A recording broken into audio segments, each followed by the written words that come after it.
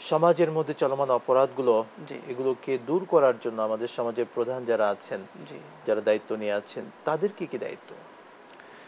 আমাদের সমাজে ওলামা সমাজ যারা আলেম অনুসরণীয় তারা তো অনবরত তাদের এই দায়িত্বটি পালন করে চলেছেন। মসজিদের মেম্বরগুলো থেকে এবং বিভিন্ন ধর্মীয় অনুষ্ঠানের মঞ্চগুলো থেকে তারা বারবার মানুষকে কোরআনের দিকে আহ্বান জানাচ্ছেন।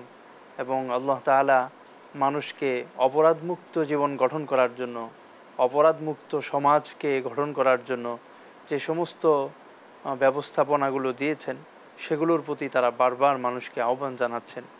আজকে আমাদের সমাজ যদি নবী করিম সাল্লাহ আলি সাল্লামের রেখে যাওয়া সেই সমাজ ব্যবস্থাকে অনুসরণ করত, যে সমাজে নবী করিম সাল্লাহ আলি সাল্লাম যখন আগমন করেছিলেন, তখন সে সমাজে কোন অপরাধটা ছিল না যেটা হয়নি। খুন, রাহাজানি, লুটতরা, ছিনতাই, ডাকাতি, মানুষের ইজ্জত নষ্ট বিনষ্ট করা ইত্যাদি সমস্ত অপরাধের মূল কেন্দ্রবিন্দু ছিল সেই সমাজ এবং পৃথিবীর ইতিহাসে সবচেয়ে অন্ধকারচ্ছন্ন সমাজ নামে পরিচিত এই সমাজ। তো নবী করিম সাল্লাহ আলি সাল্লাম তাদের হৃদয়ের উপরে মেহনত করলেন, তাদের মনোজগৎকে আলোকিত করলেন, তাদেরকে আল্লাহ তালার বড়ত্ব, মহত্ব, আল্লাহ তালার কুদরতের কথা তাদেরকে শিখালেন এবং এই জীবনই যে শেষ নয়, এই জীবনের পরে আরও এক মহান একটি জীবন রয়েছে।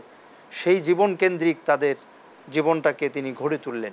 ফলে ওই সমস্ত লোকেরাই যারা নিত্য, নিত্যদিন মানুষের জীবনকে হরণ করার জন্য, মানুষের অধিকারকে হরণ করার জন্য যারা নিয়োজিত ছিল, ওই লোকদের জীবনটাই এমনভাবে পরিবর্তন ঘটলো। তাদের মধ্য থেকেই ওই সমস্ত লোকেরা বের হয়ে আসলো। অমর রদিয়াল্লাহ আনহু একদিন সফরে ছিলেন। ইবনে অমর রদিয়াল্লাহ আনহুর ঘটনা হিসাবে ওটা বর্ণনা করা হয়। পথিমধ্যে তিনি ক্ষুধার্ত হয়ে পড়লেন এবং দেখলেন এক রাখাল বকরি চড়াচ্ছে। তো এই রাখালের কাছে তিনি একটি ছাগল চাইলেন, বকরি চাইলেন যে আমি দুধ দহন করে এখান থেকে আমার ক্ষুধা নিবারণ করতে চাই, তুমি আমাকে একটি বকরি দাও।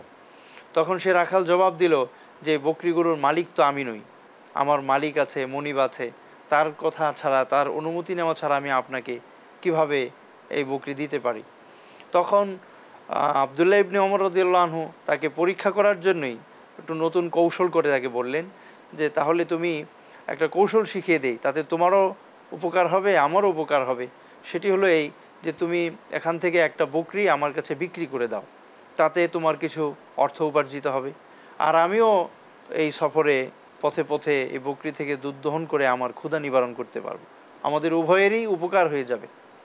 তিনি যখন এই কৌশলের কথা বললেন তখন আর তুমি তোমার মনিবকে জবাব দিয়ে দিবে যে একটি বাঘ এসে এই বিরাট পাল থেকে একটা বকরি খেয়ে ফেলেছে। আর এটি তো একটি স্বাভাবিক ঘটনা। এত বিরাট বকরির পাল থেকে একটি বকরি বাঘ খেয়ে ফেলবে, এটা একটি স্বাভাবিক ঘটনাই ছিল। তখন এই রাখাল সঙ্গে সঙ্গে বলে উঠল, ইদান ফাইন আল্লাহ তাহলে ভাই আল্লাহ তাআলা কোথায়? আমি যদি আমার মনিব থেকে এই জিনিসটাকে আড়াল করতে পারি লুকিয়ে রাখতে পারি তাহলে এটা আমি পারব সক্ষম। কিন্তু আল্লাহ তাআলা যে আমাকে দেখছেন এটা আমি কোথায় লুকাবো কীভাবে লুকাবো? এটা তো পৃথিবীর কোনো জায়গায় গিয়ে আমি লুকাতে পারব না। তো আসলে নবী করিম সাল্লাহ সাল্লাম মানুষের মনোজগৎকে সংস্কার করেছেন। মানুষের হৃদয় রাজ্যে এই বেদিকে দূর করে আল্লাহ তাআলার ভয় এবং আখেরাতের জিন্দিগির প্রতি অনুরাগ, এক অনন্তকালীন জিন্দিগির সুখ সাফল্যকে তাদের অন্তরে তিনি স্থাপন করেছেন।